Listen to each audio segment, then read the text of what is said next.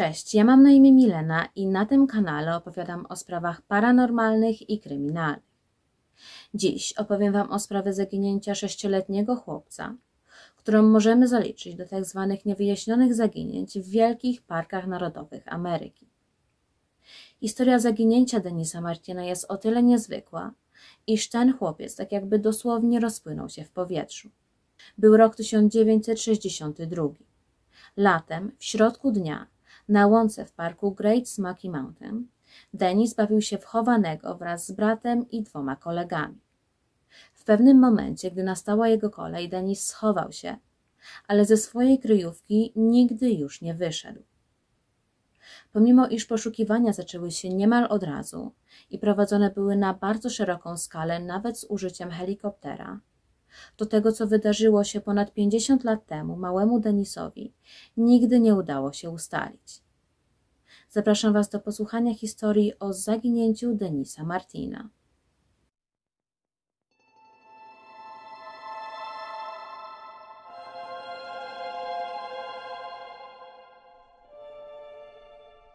Denis Martin urodził się w 1962 roku w Knoxville w Tennessee.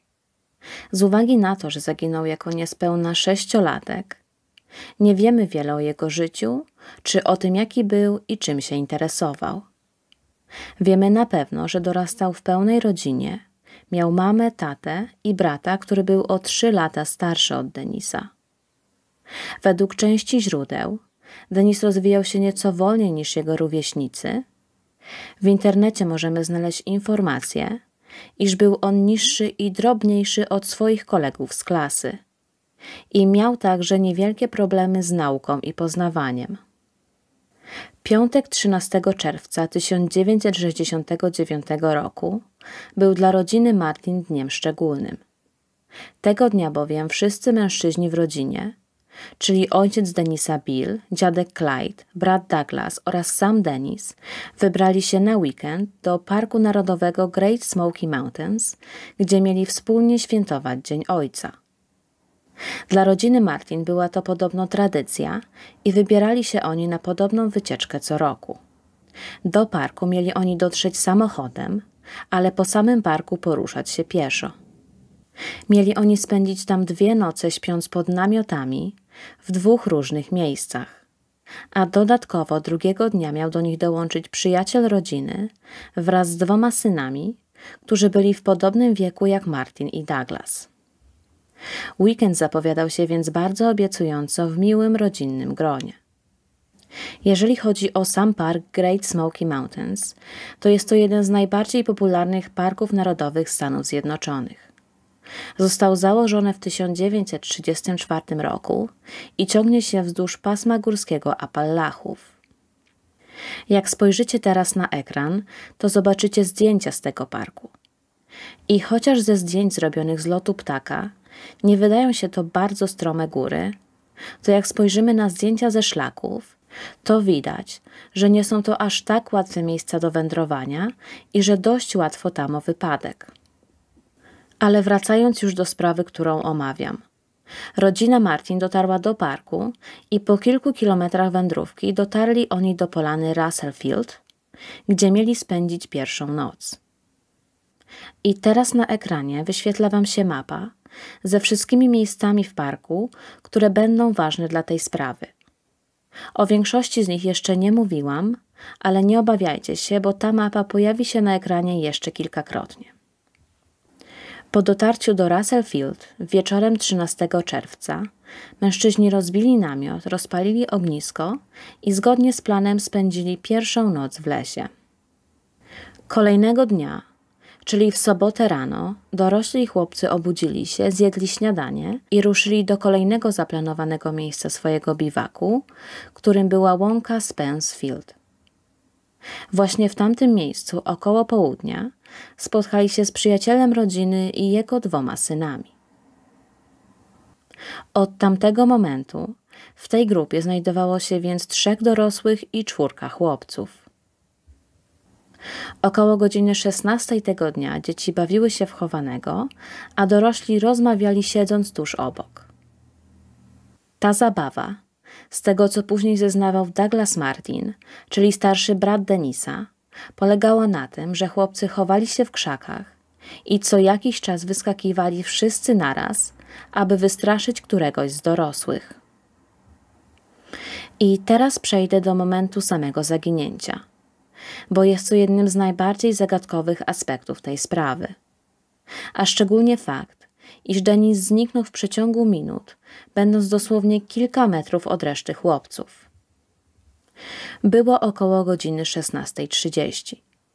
I był to moment, kiedy wszyscy czterej chłopcy postanowili się schować, by za kilka sekund bądź minut wyskoczyć z krzaków, gdy któryś z dorosłych będzie się zbliżał. Jako iż Denis miał na sobie czerwoną koszulkę i był dość dobrze widoczny, reszta chłopców poinstruowała go, aby poszedł dalej i ukrył się w nieco oddalonych zaroślach. I choć nie jest sprecyzowane, jak daleko kryjówka Denisa była oddalona od innych chłopców, to możemy przypuszczać, że było to kilka, najwyżej kilkanaście metrów.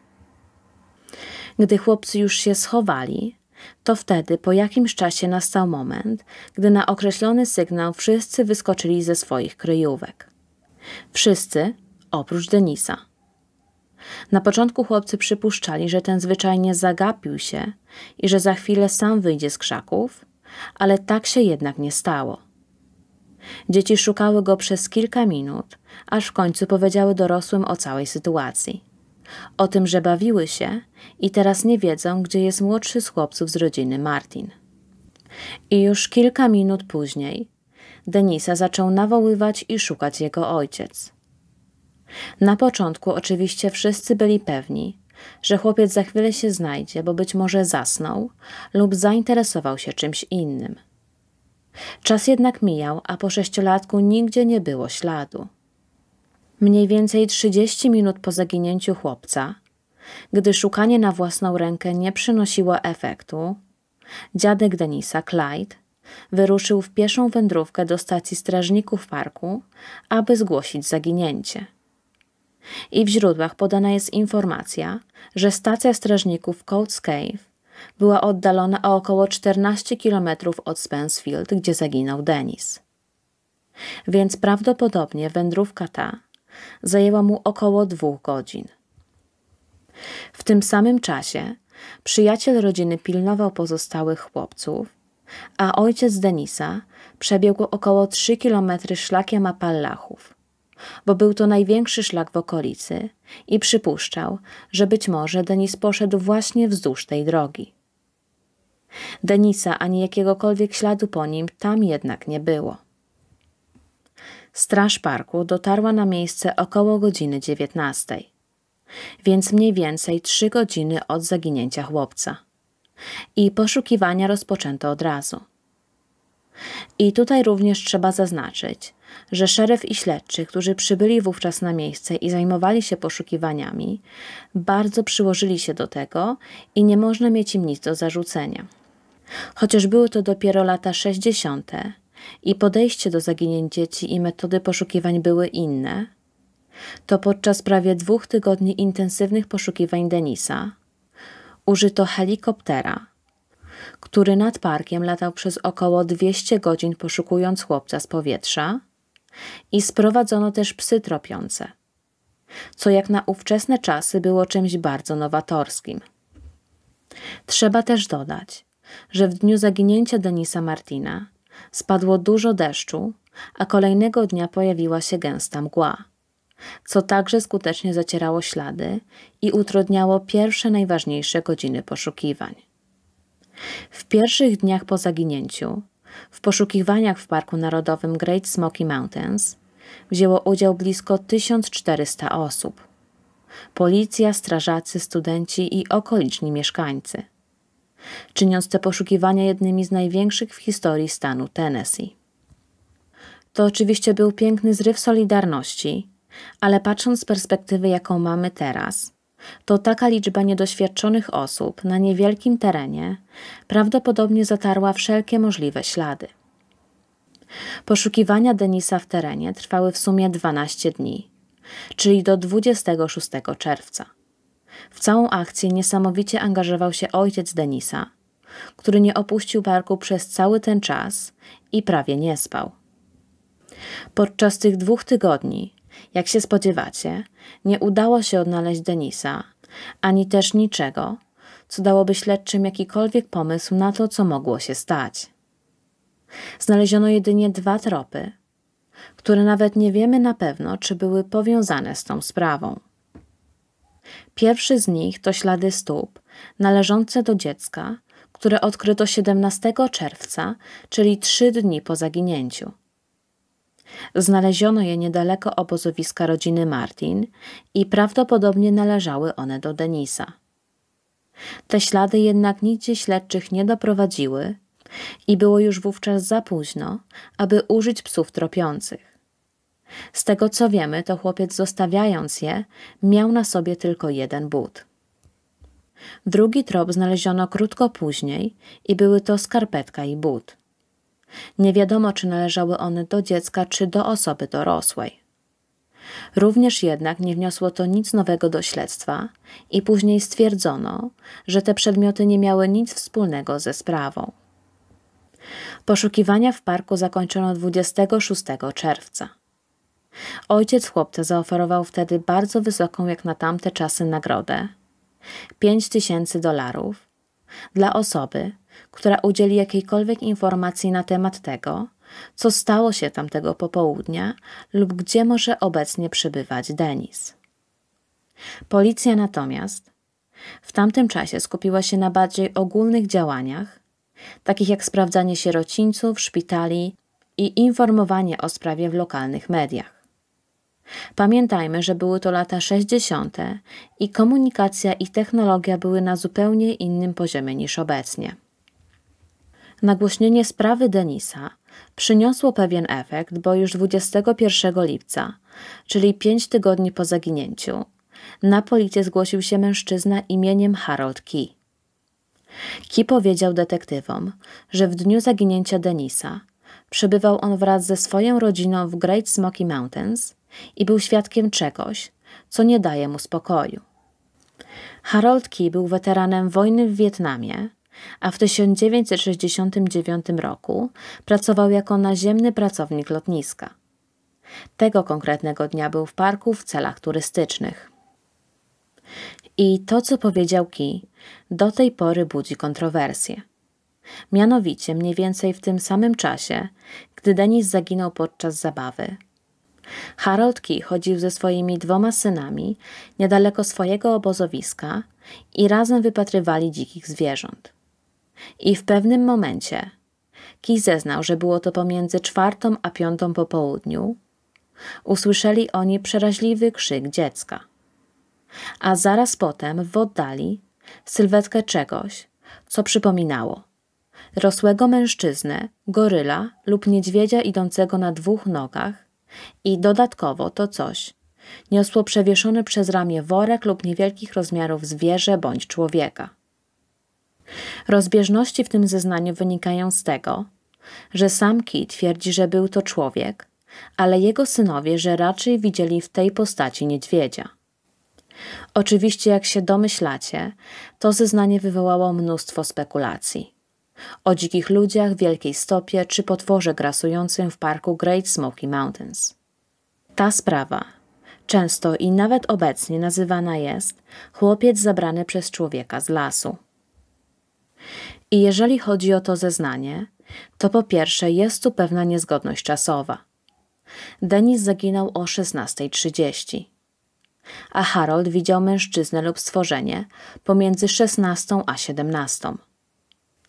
Problem jest w tym, że obóz Harolda i miejsce zaginięcia Denisa były od siebie oddalone o około 7 do 9 kilometrów. Więc ten porywacz musiałby w najlepszym przypadku pokonać pieszo 7 kilometrów w 25 minut, niosąc ze sobą na ramieniu Denisa. Jest to oczywiście możliwe, ale wydaje się mało realne. Po drugie, ten trop został sprawdzony przez detektywów w miarę możliwości i do niczego ich nie doprowadził. A co więcej, nikt oprócz Harolda Key i jego dwóch synów nie był świadkiem niczego podobnego. Sprawę oficjalnie zamknięto 14 września 1969 roku, czyli po równo trzech miesiącach bezowocnych starań, by znaleźć jakikolwiek punkt zaczepienia. Ani chłopca jednak, ani jego ciała, ani jakiegokolwiek śladu sugerującego, co wydarzyło się tamtego czerwcowego popołudnia, nie odnaleziono. W sprawie zaginięcia Denisa Martina postawiono trzy teorie. Pierwsza to to, iż chłopiec podczas zabawy powędrował za daleko, uległ jakiemuś wypadkowi i zginął, a jego ciało spoczywa teraz w trudno dostępnym miejscu. I choć nie ma na to dowodów fizycznych, to pod koniec tego filmu powiem Wam o jeszcze jednym wydarzeniu związanym z tą sprawą, które daje nam pewne podstawy, by twierdzić, że tak właśnie stało się z Denisem. Druga teoria mówi, że w trakcie zabawy chłopiec mógł zostać zaatakowany przez dzikie zwierzę niedźwiedzia lub pumę. I chociaż takie zwierzęta żyją w parku Great Smoky Mountains i czasem zagrażają ludziom, to w okolicy, gdzie zaginął Denis, nie znaleziono żadnej krwi, strzępków ubrań, włosów czy sierści. Wydaje się więc bardzo mało prawdopodobne, że do takiego zdarzenia doszło. I nawet jeżeli taki drapieżnik działał szybko i bezszelestnie, to w końcu znaleziono by jakikolwiek ślad, chociażby w postaci pozostawionych części ciała. Ostatnią teorią jest to, iż Denis mógł zostać uprowadzony i bazuje ona jedynie na przedstawionych wcześniej zeznaniach Harolda Key. I jest to też jedyna teoria, którą bierze pod uwagę ojciec chłopca. W pierwszych latach po zaginięciu Bill Martin mówił, że ma nadzieję, że gdy Denis osiągnie pełnoletność, to odejdzie od swoich porywaczy i zgłosi się na policję. Jak dziś już wiemy, tak się nigdy nie stało. I jak wcześniej wspomniałam, w tej sprawie jest jeszcze jeden wątek. A mianowicie, w 1985 roku, to jest 16 lat po zaginięciu Denisa, do biura szeryfa zgłosił się mężczyzna, który powiedział, że kilka lat wcześniej znalazł w okolicach Big Hollow, niedaleko od Spencefield, szkielet, który rozmiarem wydawał mu się, iż jest szczątkami dziecka. Ten fakt zdecydował się on ujawnić dopiero wiele lat później, bo tamtego dnia w parku zbierał on rzęszeń, co było wówczas działalnością nielegalną. To zeznanie potraktowano bardzo poważnie i tych szczątków szukano wiele razy. W latach 80., ale także teraz, w 2021 roku. I pomimo starań, tego szkieletu nie udało się ponownie odnaleźć. Sprawa ta na tym się kończy.